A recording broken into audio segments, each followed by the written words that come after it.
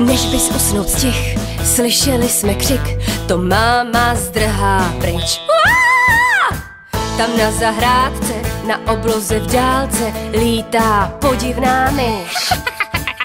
Proč ušima stříhá, když se v noci smívá a syčí jako píst? Písk, písk! Líza říká, pojď si hrát, je to její kamarád. Můj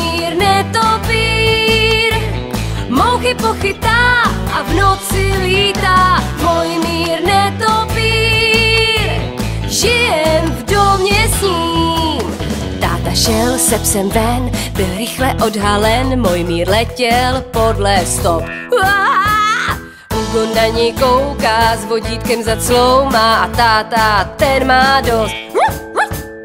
Babička v nesnázi, ponožkama hází, běží na záchod. Pomoc! Karlík okno otvírá, vždyť jsme jedna rodina.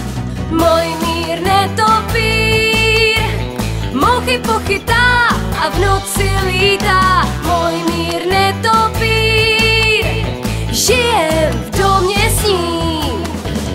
Netopírek náš, proč se na ně hněváš, když nám doma chytá hmyz? Karlík dlouhé chvíli schoval ho ve skříni, to měl být jen vtip. Netopír tam chrápe, až bude po deváté, tři, dva, jedna, vstyk. Vstávej, můj míre. Můj mír netopír, mouchy pochytá a ve dne zývá. Můj